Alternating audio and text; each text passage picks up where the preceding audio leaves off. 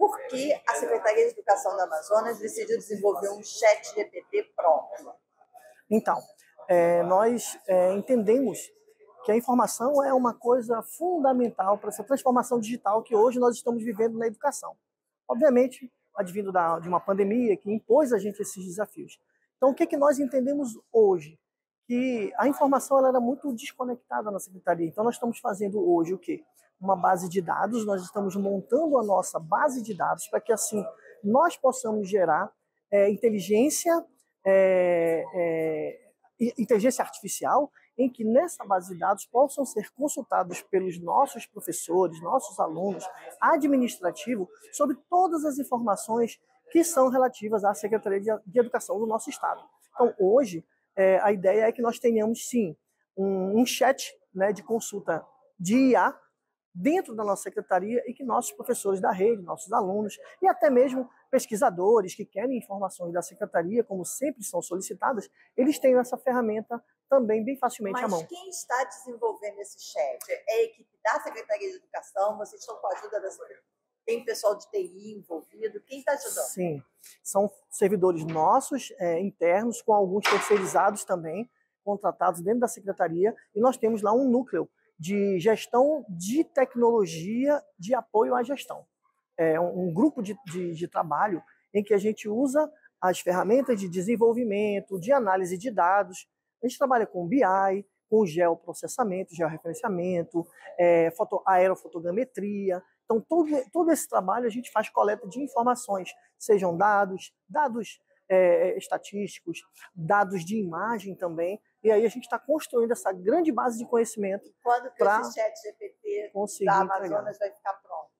A nossa previsão é entregar ainda esse ano. Ele está em fase embrionária, já passou, quer dizer, pela fase embrionária, já estamos em alguns testes em homologação, e a ideia é que até o final do ano, até um pouco antes, a gente consiga entregar isso para a nossa sociedade amazonense. A questão maior no Amazonas ainda é a conectividade para você ter melhor uso da tecnologia? Sem dúvida, sem dúvida. É, é um estado que tem diversos desafios, dada a sua, a sua localização. Então, nós temos escolas ali que estão enfrentam desafios grandes. A conectividade ali ainda é satelital, não temos fibra ótica lançada em toda a malha né, do, do estado.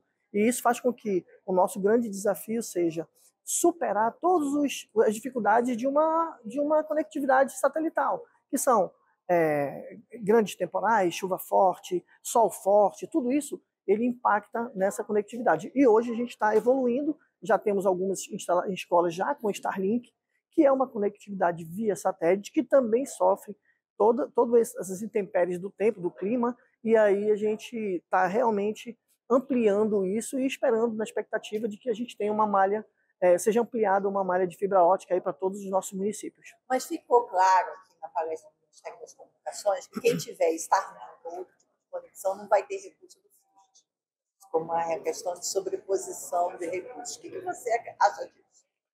Bom, eu acho, eh, a gente precisa entender primeiro o que, que é realmente uma sobreposição é, de recursos, vamos assim dizer.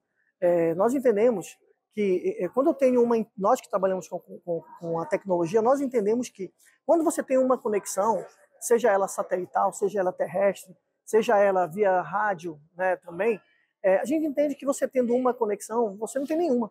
Você tendo duas, você essa é uma máxima que a gente usa. Por quê?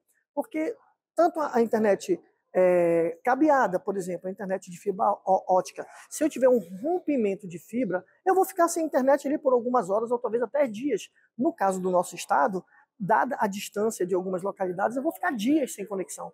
Então eu preciso ter uma internet realmente que seja uma redundância, uma saída diferenciada, para que a escola cair uma conexão, uma conexão, ela continue tendo conectividade por uma outra saída. Então, a gente entende que é, é, é, é uma questão que tem que ser ainda muito debatida, tá?